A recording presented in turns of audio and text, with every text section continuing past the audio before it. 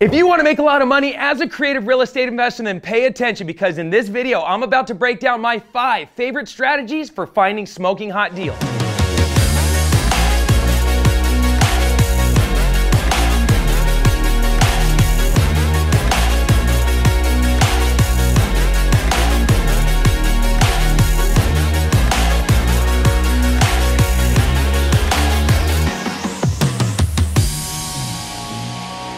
What's going on guys? It's your boy Cody Sperber, the Clever Investor here, and welcome to my training videos on YouTube. Thank you for being a loyal follower, subscriber, and a video liker. Now, with that out of the way, I want to break down my five favorite ways to source deals that I use as a creative real estate investor. Now, these five ways, they're in no particular order. They all work extremely well, but they only work if you work the strategies, right? Lead generation, you know, it's kind of my thing. It's kind of what I'm known for. And if you've been following me for any length of time, you know that from a marketing standpoint, I have what's called marketing stamina. What that means is I'm consistent, right? I get it in my head. I almost become like an obsessed maniac. I love the idea of being able to creatively outmaneuver my competition so that way when somebody raises their hand and says, Yes, I want to sell my house, they think of me or one of my companies. All right? Same thing with you. I'm consistent on YouTube because I want to gain a loyal following and I want you to come to Clever Investor for all your real estate investing educational needs. So I want to be omnipresent. I want to be uh, aggressive. I want to be consistent. And I want to do it in a way where uh, I build a relationship with you guys. So the same thing I'm doing with you guys, you need to turn around and do the same with your prospects and your community uh, for your business, and if you just mirror kind of what I'm doing and do the same exact thing, whether here on social or uh, one of these five strategies I'm going to teach you. Uh, and by the way, I just thought of something. Social is a bonus sixth strategy. All right, we'll talk about that later. But just do the same things that I'm teaching you how to do. Match and mirror people playing the game at the highest level, and you will win the game as well. All right. Got my handy whiteboard here. Uh, AA Ron's behind the uh, camera. Say, what up, AA Ron? All right, Aaron, just put a picture of yourself right here. All right. Perfect. All right, that's AA Ron. You know, I think he put some ab muscles. He doesn't really look like that, but moving on. So, five lead gen strategies. People come to me all the time. They're like, Sperber, how do I generate leads? And, and I got to be honest with you. If your business has lots of leads pouring into it, you're going to make a lot of money. That's just the way it goes. You can kind of suck at real estate, but have a tremendous amount of leads coming in and think of yourself like a baseball player. If you just pitch after pitch after pitch, eventually you're going to connect and hit a, you know, get on base. I almost said hit a home run, but that might not be the case. But you'll at least hit the ball eventually. Um, and kind of my business philosophy as a real estate investor is I want to generate as many leads as possible, have all this lead flow pour, pouring into my business, and then based on the deal itself, meaning based on the motivation and the needs of the seller based on my current resources and my current goals for me as an investor. However, that lines up, I want to think of myself as a transactional engineer where I structure each deal uniquely to maximize the profits and maximize the benefits to all parties involved in the transaction. So I'm always trying to create a win win scenario win for the seller, a win for me, right? I truly believe that you don't need to go beat people over the head or steal their houses from them. I think you can run a very profitable real estate investing business and treat people very fairly at the same time. Um, and as long as they have all the information to make a sound decision and you uh, uh, are happy with the deal, then everybody gets what they want. So, all these leads need to be pouring in your business. Each deal kind of takes on a life of its own. Sometimes I wholesale, sometimes I rehab. Sometimes I'm like, hey, this is perfect for my portfolio, buy and hold, and I'll keep it, right? But I don't know that going into in, uh, every day when I show up at work. I don't know whether I'm going to wholesale today, rehab today, or buy and hold today. I just know that each and every day I am uh, generating as many leads as possible for my business. All right, with that setup out of the way, uh, what are my favorite lead gen strategies? All right. The market's constantly changing, and I've been through a lot of different evolutions, right? When I first got into the business, everybody was door knocking, right? I love door knocking. I would even love door knocking right now. And in fact, I'm in the process of building a big door knocking team. I love door knocking. but it's a lot of work and it's normally for a new investor it's kind of difficult to build a door knocking team you can personally go out and door knock and i highly recommend that if you got a list of foreclosures or something like that go knock on some doors go through that experience see what it feels like for you but uh, when I first got in the business, I started off door knocking. Then I got into direct mail. Then the world fell apart and the market crashed, and we ended up uh, uh, doing a bunch of stuff down at the foreclosure auctions and REOs, which is bank owned houses. Bought a bunch of bank owned houses, did a tremendous amount of short sales, and then the market kind of corrected itself. And then I got back into direct mail. And now we're doing these five main strategies that I'm about to share with you currently in today's market. So um, I've been through a lot of different variations. Every time you master a marketing technique or a lead generation technique, you're going to have a certain window where it's kind of your sweet spot, you're kicking butt, but eventually it's going to run its course and they're going to move the cheese on you. All right? Don't freak out when that happens. You want to be the nimble, clever investor. You want to constantly be able to maneuver. And the way I teach my students is get, think of lead generation like spinning a plate. Spin one plate as fast as you can. Get it going, get it going, get it going. Don't try to spin four plates at one time. Just like dominate one strategy, get that plate spinning really, really fast, and then spin the next plate, then spin the next plate, then spin the next plate. Uh, don't try to spin them all at one time or the plates will crash. I don't know who spins plates anymore, but that's the best analogy I got. So, these aren't in any particular order, but I wanted to share with you what we're doing currently right now and we're focusing on. So, um, one of the first things that we focus on because it's the path of least resistance it's very easy for anybody to do. You could start doing this right now. Is uh, going through agents. You should, for about an hour a day, if not more, be working the phones, going out to networking events, and doing whatever it takes to build relationships with local real estate agents. The uh, the way I think about it is I have an area of town that I want to farm, right? Maybe it's an area where I want to buy properties to do rehabs. Maybe it's an area where there's a lot of cash buyer activity and I want to do more wholesales in that area. But once I pick my target market, it's pretty easy to see all the real estate agents that are working in that particular area. I call those agents and I build a relationship with them. And the key with working with real estate agents, there's a couple keys. The major key is consistency. They're very busy, right? And the reason I, I, when I work with an agent, I'm not just calling somebody and saying, "Hey, what houses do you got listed? I'd like to write offers on them." I call agents and I try to build a relationship with them so that way the next time they get a pocket listing or a pre-listing, all right, a pocket listing means it's not going live on the MLS. It is going to be shopped around through their brokerage and through their personal network, but it's never going to actually hit the MLS. A pre listing means they know in two or three weeks the listing's coming, but if I can slide in there and write an offer before it ever hits the MLS, I can beat out my competition and get to it first. I also want an agent to call me if they know that they're about to drop price or they just drop price and now it's getting into the range where an investor can come in and actually get a good deal. It's not easy to do because agents are very busy.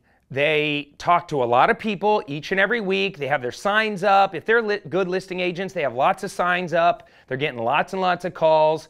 A good agent answers their phone, but they're getting a lot of phone calls. And sometimes it's hard to break through and actually build a real relationship with them. So, what I do, I do a couple things. The first piece of advice is come up with a hook, right? Every time I call somebody, I say, hey, what's going on? It's Cody Sperber with the clever investor. Right? What's your hook? Are you Big John from Texas? Are you, you know, are you uh, cash buyer Christina? What's your hook, right? Come up with the hook. That's number one. So that way they can remember your name because they met, they meet a million Bobs and Bills and Sams and Steves. So try to set yourself apart. Next tip is the you got to master the follow up. So I became a master text follow upper. Um, yeah, it kind of made sense. That made sense? Yeah, it made sense. I mean, it totally made sense. All right. And so uh, I'll constantly, t- as soon as I get done having that initial conversation with them, I'll say, hey, listen, um, I'm gonna call. I'm gonna text you right now a picture so you don't forget me. I'm Cody Sperber, the Clever Investor. I hope you never forget me, and I hope we can build a real profitable relationship. Uh, you know, I want to buy, buy a lot of houses this year and do a lot of deals, and I'd love to make some money with you. As soon as we hang up, I sent a picture of something weird, me doing something weird. Um, and I actually stole this concept from a guy that I met at a networking event that told me he was into fishing. And then, literally eight seconds after walking away from him, I get this picture of him holding the world's freaking biggest trout I've ever seen. And he's got the biggest shit eating grin on his face. And I never forgot him since then, right? And I was like, that is a brilliant idea. So, what I like to do is I get out a, a $100 bill or some bill, write the agent's name on it right? Or write your name on it, hold it up and take a selfie or have somebody take a picture of you, and then send the agent a picture of you holding up some money with your name on it or their name on it. Uh, just get creative and text him and say, hey, thanks for chatting with me. I'm going to follow up with you here in two weeks. Uh, I hope it's okay if I just text you every once in a while and check in with you. If you have any pocket listings, pre listings, uh, pro- properties that are dropping in price where you need a cash offer, hit, hit me up. All right. And by doing that, I always break through eventually. And then once I get a good relationship going over the phone, if the agent is, starts sending me deals, maybe they set me up on an uh, auto search for on the MLS for any deals. If I'm getting a lot of good deals sent there the, from them, and I like them, then I'll take it to the next stage, which is, hey, would you like to go grab coffee or meet me at the bookstore or you know go to a networking event with me or whatever, and actually meet them in person. All right, so agents, work the agents. That's their job. They have their finger on the pulse. A good agent is worth their weight in gold, and I love working with agents because it's leverage. Imagine if you had 20 agents bringing you deals every month. That's you times 20. And they already speak the language of real estate, and you could get a lot of very profitable deals uh, from agents. All right. Number one, what do you think? Yeah? Keep going? All right, if you subscribe to my channel. Or, or actually, you know what? Let's do this. If you subscribe to my channel right now and you click the like button and you leave me a comment, I'm going to give you a special gift. I hope I can fulfill on that. I'm going to give you a special gift if you subscribe to my channel, click the like button right now, and leave a comment on this video. All right, I'll reply with how you can get your special gift. All right, moving on. Next one. Dial for dollars. Dial for dollars. You might be saying, what the heck are you talking about? I have a guy right now, all day long, he's sitting in a cubicle in front of a computer. He's got a headset on. He's got an auto dialing system uh, ran by this company called Mojo, M O J O. Uh, I forget. I'll put the website down below. Um, but uh, he uses a we use a service called Mojo, which is an, a three-line auto dialer. I think we pay like 100 bucks a month or 140 bucks a month for the three-line dialer. And uh, what we do is we go and we buy a list, a targeted list of certain types of homeowners. So maybe it's a probate list or a tax lien list or a foreclosure list or an absentee high, high equity list, vacant property list. We pick our target and we buy a list. Just like the first stage of doing any direct mail is you got to buy a list. You got to know who you're going to mail. Um, same thing when you're dialing for dollars, you got to figure out who you want to call. Step one is you buy a, a list from a data provider. All right, if you have the Deal Automator, which the link is down below of the software that I use for my business, you can pull all the lists you want from the Deal Automator. Um, or you can go to a data company and you can buy a list. All right, one of my favorite data companies is Listability. Right, I use Listability all the time, and if you call them and say, "Hey, Cody from Clever Investor sent me," they'll hook you up. Right, but uh, if you want an absentee owner high equity list, you go to Listability, or you go in the Deal Automator and download it for free. Step one, you pick a list, then you take the list and you skip trace it, right? And you skip trace it using a skip tracing service like datafinder.com or batchskiptracing.com. And if you use uh, either one of them, there's a little place where you can put in a promo code. And if you put in the word clever investor, you'll get a discount. Um, skip trace the addresses, and you'll get about a 40 to 60% match rate with phone numbers. And basically, what we're doing is we're taking an address and a homeowner's name and we're skip tracing what their phone number is. Once we get their phone number and we get a big list of them, let's say we get 5,000 phone numbers, we'll stuff them into Mojo, and our guy on the phone will sit there all day long running a three line auto dialer, dialing for dollars. Basically, cold calling homeowners to, and pitching them on, hey, how would you like to receive a cash offer on your property? We've been doing this for a long time. It's one of the best lead gen strategies out there right now.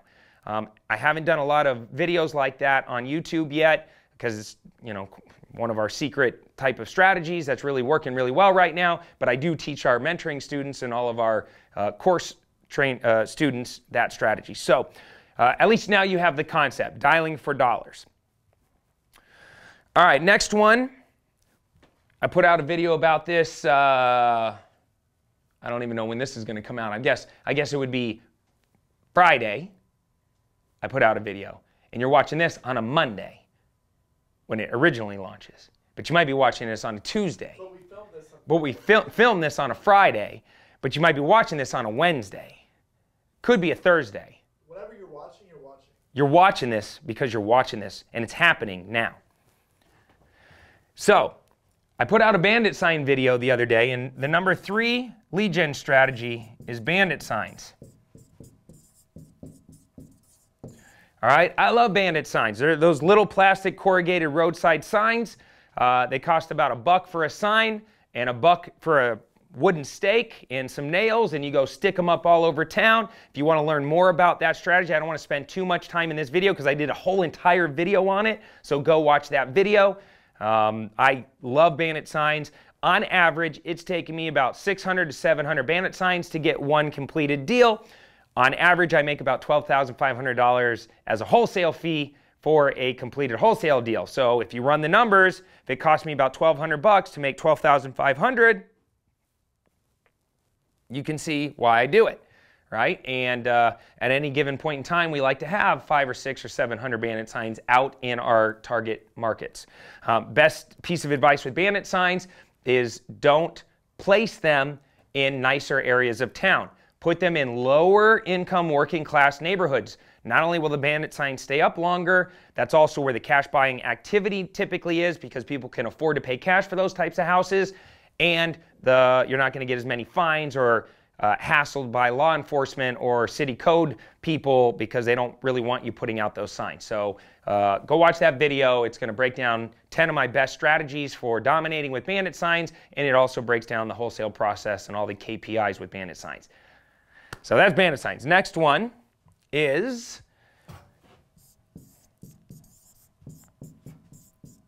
direct mail. All right? If you're already dialing for dollars, you might as well send them a mail piece. Now, there's different levels of direct mail. Something as simple as just sending somebody a yellow letter, a little handwritten yellow letter saying, hey, I noticed your property looks vacant or abandoned uh, or distressed. If you'd like to get a cash offer, me and my wife would, are looking to buy a property in the area, give me a call. Right? That's like a little one-off yellow letter, or you can send little cheap postcards. Uh, you know, mail costs, you know, I don't know, maybe uh, 45 cents a postcard, something like that, to send a postcard. And uh, I love sending postcards to the same people that I'm dialing for dollars. So if I pull a tax lien list, I'll send off a mailer then I'll start calling. And it even gives me a reason when I cold call them to say, hey, did you get my mail that I sent you? Right? Direct mail is extremely effective. The key with direct mail is to match up the, you got to get good quality data. You got to match the data up with the right marketing piece. And on that marketing piece has to have the right copy, right? If you don't know what copywriting is, copyright, uh, when it comes to, uh, uh, sales is written, the written word of sale, sales. That didn't even come out. Can I talk right now? I can't even talk right now. The written word of sales, right? That's copywriting. And so if you've ever gone to any of my websites or anything like that, you'll notice if I'm trying to sell you something, there's stories built into it. Um, there's you know powerful words being said. There's headlines. There's strategic hooks and things in there where we're trying to get you emotional and excited about something. So uh, there's an art form to it. It's not just hey, I want to buy your house for cash. There's actually an art form to it. So. Uh, you have to have the right data with the right marketing piece. So maybe it's a postcard, maybe it's a letter, maybe it's a uh, you know, a long form letter, a short form letter. There's uh, different colors, and then you got to have the right sales copy on it. That includes the headlines, the call to action, all that stuff. When you line up all of those things, that's when the magic happens with direct mail. All right, but I, I'm heavy on mail. I think you have to send, just like bandit signs. Somebody has to see your bandit sign like 11 or 12 times before they're probably going to call on a sign, right? Direct mail, it might be even more. Direct mail is a long game. So I might send the same person 20 or 30 of uh, direct mail pieces before I get anything back from them. But what happens is it's like a hockey stick. It's like a, a return all of a sudden I get where I get a massive amounts of results based on like my 14th direct mail or my 15th time I've touched them. All of a sudden it hockey sticks and it's like, yes, that's where all the deal flow is. Um, so don't get discouraged if you send direct mail on day one and you don't get the results you're looking for. By your third, fourth, or fifth mailer, you're going to start getting those results. And by your 10th, 12th, 14th, 15th time, it's a massive amount of results, right? They come flooding in. And the last one is co-wholesaling.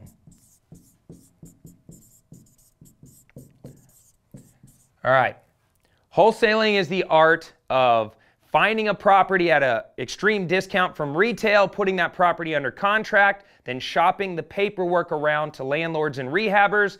And when one of them steps up and says they want it, you play matchmaker, put the deal together, everybody wins. The seller gets what they want for the property, the end cash buyer gets a good deal, and you, you in the middle get paid a matchmaking fee. That's wholesaling. Well, there's two sides to a wholesale transaction. There's the acquisition side and the disposition side. The acquisition side is when you go out and you work with homeowners and you put houses under contract. The disposition side is where you go out and you work with cash buyers and you bring the buyer to the table. Well, a lot of times I'll go out and I'll network with other wholesalers in town and I'll say, it's like I, I have, I want conversation. I have two cash buyers that are looking for these types of deals. What do you have? Well, I have this and I have this. All right and then I will, and then I'll say, hey, if, if I bring a buyer, can I get paid? And they'll say, sure.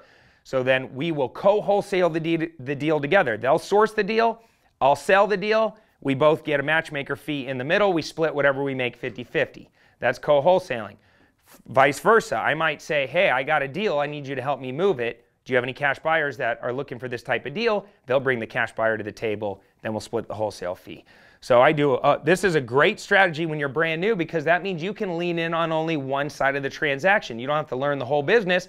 You could just say to yourself, I want to hide behind my computer and all day long I'm just going to work social and I'm going to work my connections to build a cash buyer list. And I'm going to build a badass little list of every rehabber and landlord in town. And then I'm going to go around, once I build my list, I'm just going to sell other wholesalers' properties to my list and I'm going to get paid a uh, wholesale fee. And I know a lot of people that do just that side of the transaction. I actually have another video that we did um, that actually went a little viral where we were talking about the top tips to building a cash buyer list. So go check that video out. But I love co-wholesaling. We do a lot of co-wholesale deals. And now you can kind of see when you add it all up, you get one plate spinning, you work the agents, you get the follow-up, right? They learn your name, you build rapport with them, you go and meet them in person, build a real relationship. They start bringing you deals. Now you got 10, 20, 30 agents bringing you deals. Then you move on. You you do it yourself in the beginning. You get your headset, you buy your list, you skip trace the phone numbers, you smile and dial. Now you're dialing for dollars. That'll get you one, two, three, four deals a month. Then you get that going. Then you hire somebody else to sit in your spot. Now they're doing that. Now you go down to bandit signs, you master putting out bandit signs, you watch my video, you master the art form of putting out bandit signs, you do that for a month or two, get six, 700 bandit signs out at every, any given time. Now you're getting one or two or three deals a month from bandit signs. Then you, you document, systematize, outsource, hire that out, go to direct mail, get that down. I actually have a direct mail course down below if you want to learn more about direct mail. I give you all my proven marketing pieces. Uh, it's called the Direct Mail Deal Maker course. The link will be down below. Teach you direct mail how to get the list, what marketing pieces to use. You can even steal my sales copy. Um, now you're dominating direct mail, getting a couple deals a month from that, and then you build relationships with every wholesaler in town, build a massive cash buyer database. Now you're co wholesaling. Yeah, start adding it up one to two deals, one to two deals, one to two deals. All of a sudden, you're doing 10, 12, 14 deals. And like I said, my average wholesale fee is 12,500. Now you're making hundreds of thousands of dollars a month. And then the game has changed. All right? You get to wear what you want, do what you want, put your name on your hat. You're the boss, right? You're the man with the plan or the woman with the plan, and you can come back around and say, Cody, I'm so glad I subscribed to your channel on YouTube and I started watching all of your videos. That's all I do now. I don't even watch normal TV anymore. I just watch Cody Sperber videos. And that's what you should be doing because I'm going to teach you how to make 2019 the most profitable year ever. And now you know my five favorite strategies. Until next time, I'm Cody Sperber, the Clever Investor. Down below, click the links subscribe to the channel, like everything of mine, and I'll see you on the next one. Take care, comb your hair, Sperber out. Hey, listen, while you're here, right after you subscribe to my channel, go ahead and grab my free book, How to Flip Houses with Little No Money Down, by clicking the link down below in the description. It's my gift to you, and it's a step by step guide on how I got started in real estate and how you can too. Hope it helps.